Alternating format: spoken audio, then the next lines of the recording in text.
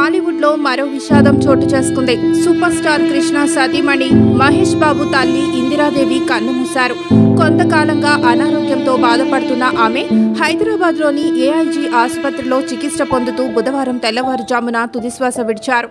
ఇందిరాదేవికి రమేష్ బాబు మహేష్ బాబు పద్మావతి మంజుల ప్రియదర్శిని ఐదుగురు సంతానం.